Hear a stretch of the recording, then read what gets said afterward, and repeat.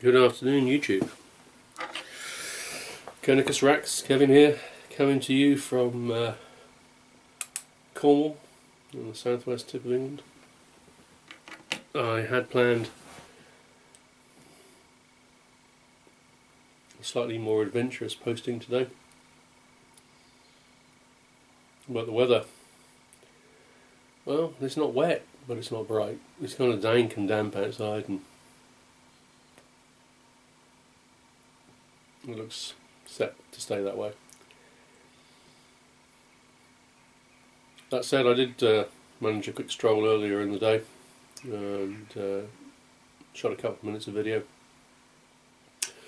So my next task is to uh, try and work out how the video editor works and splice these two together.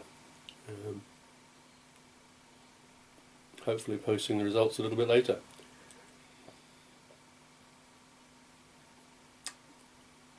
Today is a day of enjoying bounty of Christmas.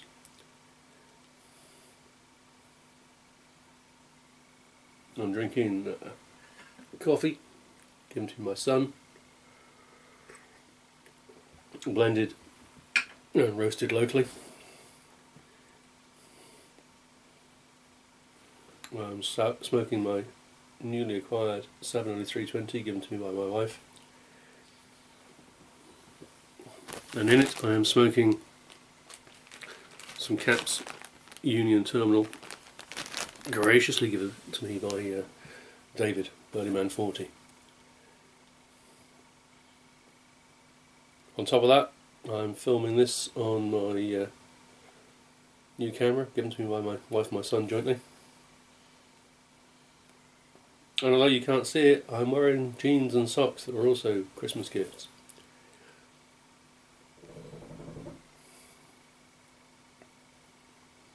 I've uh, I've been trying to catch up on a number of videos over the last day or two, and um, there seems to be a, a couple of recurring themes. Um,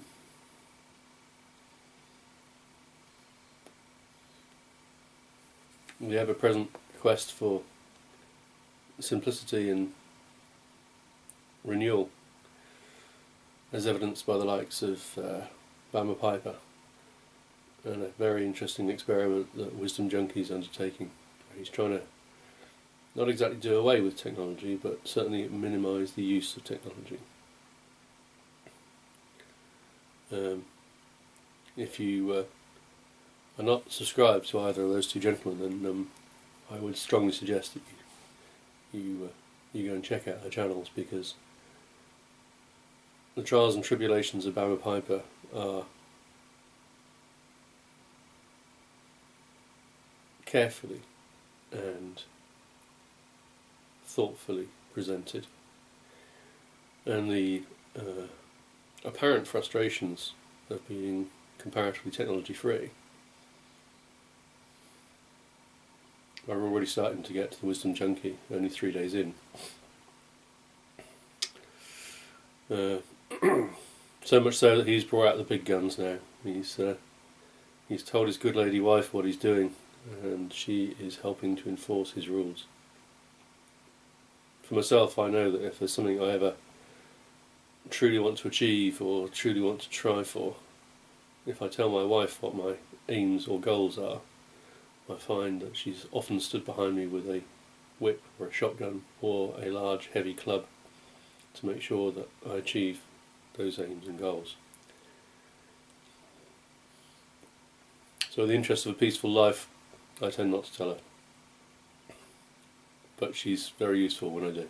When I need help, she makes sure I get there. And the other theme, of course, at this time of year is the um, resolution question. Bama Piper has always already explaining that he uh, doesn't bother with short-term resolutions more um, looks to longer term plans for a year or five years at a time.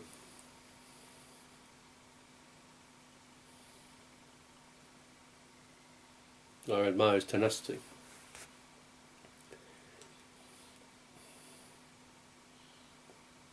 And the present goal he has of um, significantly cutting down the size of his home. He's planned to halve the size of his home, and uh, in so doing, disacquire a number of items. Uh, something that uh, we did 17 and a half years ago when we moved into the cottage here. We moved from a huge townhouse into this little uh, cottage, which is probably less than half the size of the townhouse, if not more. At least on the inside, we have a, a larger garden and um, much more space and time. Um, we do live a much simpler life. We, don't have central heating of any sort, for instance, which uh, terrifies some of my friends. We rely heavily on a, a wood burner that we need to feed constantly, and um, we rely on a little bit of planning. Um, we do have a, a, couple of shops a mile or two away, but uh, other than that, it's a 15 to 20 mile round trip to the nearest uh, big stores and if you want to go into do serious shopping we're talking about a 50 to 60 mile round trip as a minimum.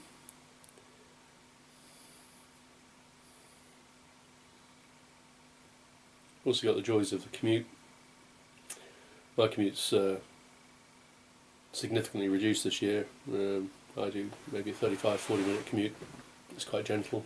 It's across county. Don't hit major traffic. So to me it's a lot easier than the hour and 15 minutes I was doing previously. That's each way. I know in this country and I'm sure in America that a lot of people spend an hour or two going to and fro work every day. And I found that mind numbing. Um,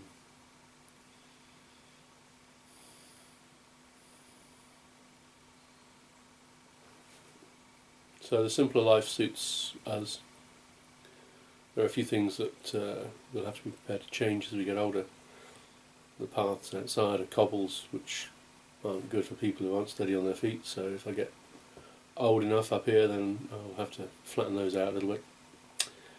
Um, and we may have to go for some extra form of heating when uh, I'm less inclined to haul burning materials in and out of the house.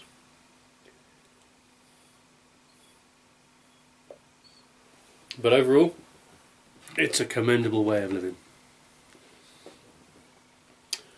When you have less, you have less to worry about. You have less to fix, less to maintain. And you can get on with some of the more important things of life. We spend a lot of time together as a family.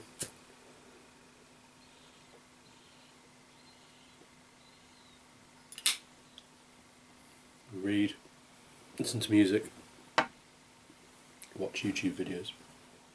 Well, I do.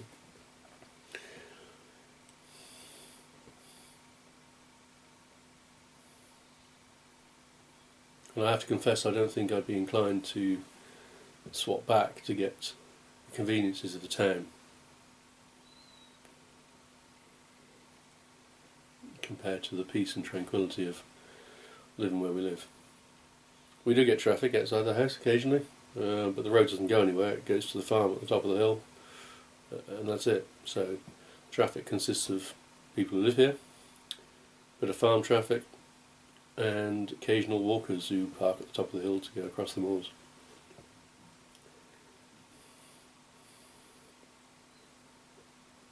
So, as far as simplicity is concerned,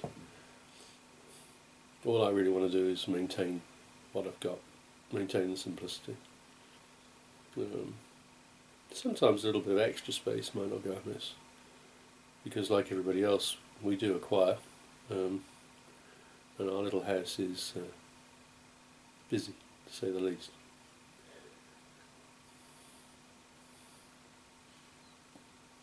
And it's been many years since I've um, chased the annual resolution bug. I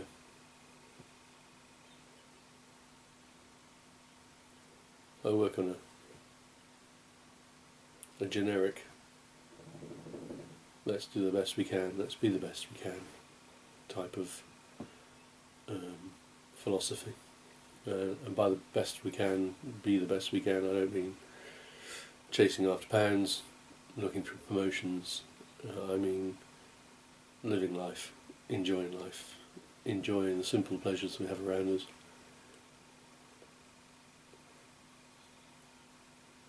And um, by and large, I think we achieved that. 2014 was certainly a fantastic year for me and my immediate family. Um,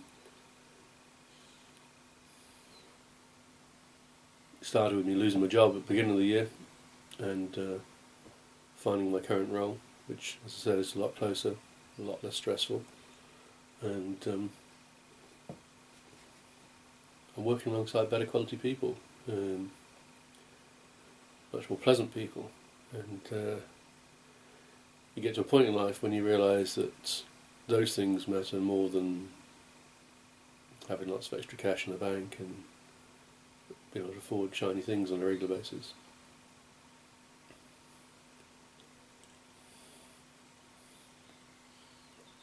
So I will. I wish uh, Eric and his family, Bama Piper, all the best.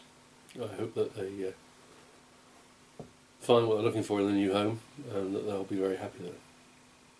Indeed, I wish all of you all the best for the coming year and every year beyond. I'll be watching carefully to see how the Wisdom Junkie manages his experiment. It's a little annoying that he's decided to switch off now because I've got a few questions about recent videos of his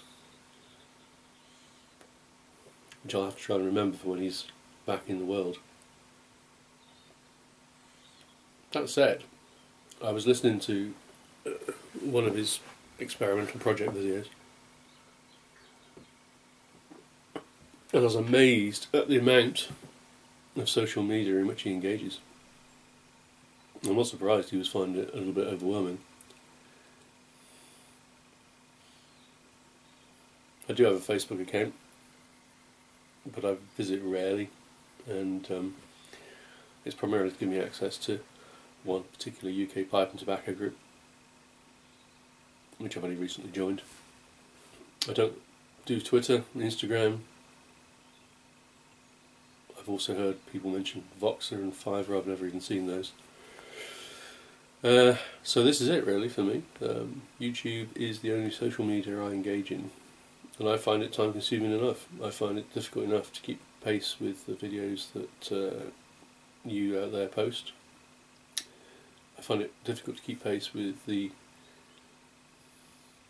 new members of the community that come on board. I'm often very late finding new members as they come on. I rely very heavily on people I subscribe to mentioning them and um, I can have a look sometimes I'm fortunate enough for them to find me first.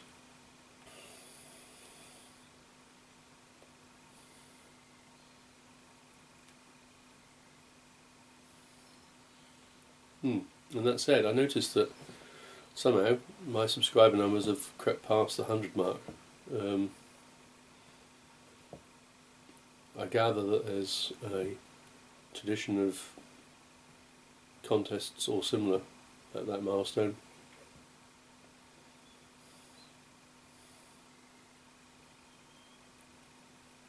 Well, I confess I've got no plans for a contest at this point in time, partly because I can't think of a reasonable contest to put on, and partly because I'm not sure I could afford a reasonable prize package at this point in time.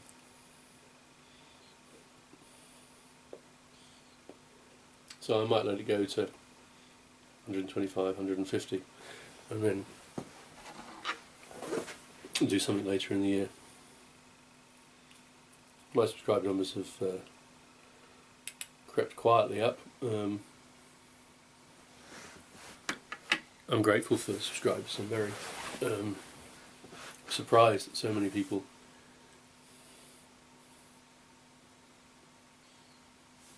find my musings and occasional rantings to be sufficiently interesting to want to follow me. But uh, I suppose we are an eclectic mix, are we not? We have everything out there from the likes of uh, Danny Shaw in his workshop, uh, the Holy Smoking Pipe Padre, who I see is packing himself, ready for a move to a new parish. Matches, H60, and of course the man in the cupboard, Wardog 418. Uh, I feel certain that if we added some dark rimmed glasses to that young man, he could pass a Harry Potter.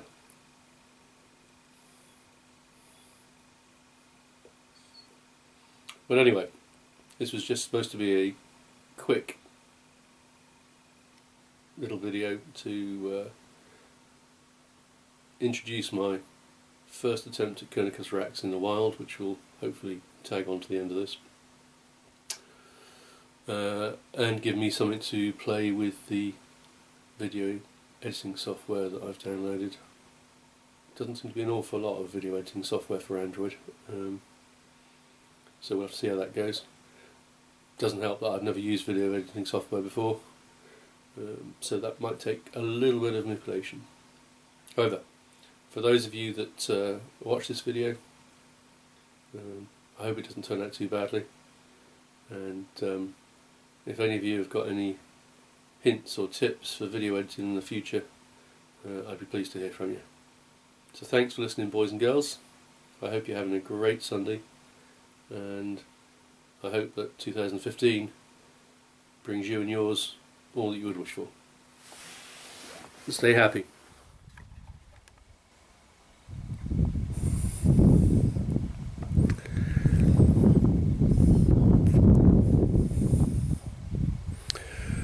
Good day to YouTube.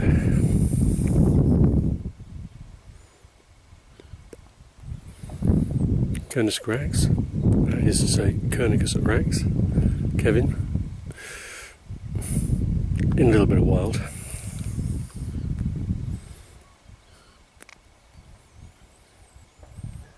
Uh, my 2015 has started in the same way as 2014 ended, which is with uh, small car problems. It's time for my car. Well, it's not too serious, but I don't want to drive too far until I get it to a repair shop. So uh, I've walked up the hill from where I live, which is still pretty wild. Well, I'll show you the view in a minute.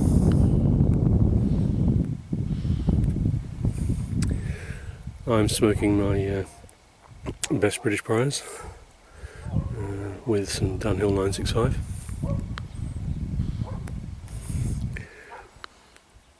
See if I can show you the view.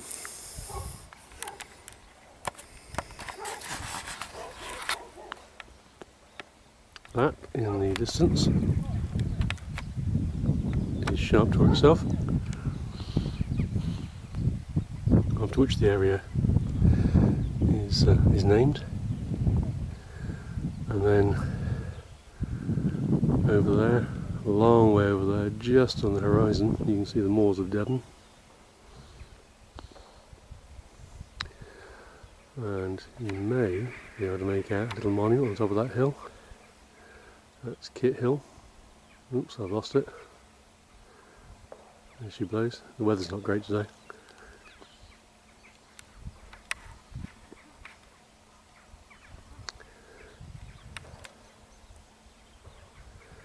And then down there in the valley is where the few of us that live up here live.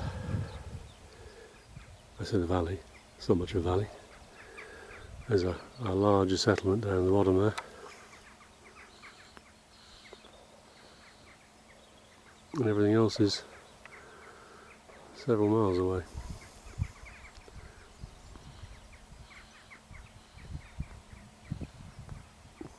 See all the uh, all the brackens turned a deadly shade of brown. There's nothing on the trees. A few berries left on that one. In fact, pardon me for taking my mind off the camera then. There should be northern mountain berries the time of year.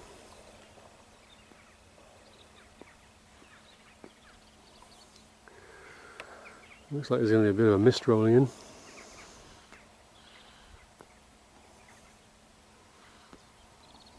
Not much in the way of livestock around. A few blackbirds, sheep and cattle on the far side of the wrong way. But not much else. Bit of gunfire in the distance. We've got some uh, shooting grounds a few miles that away.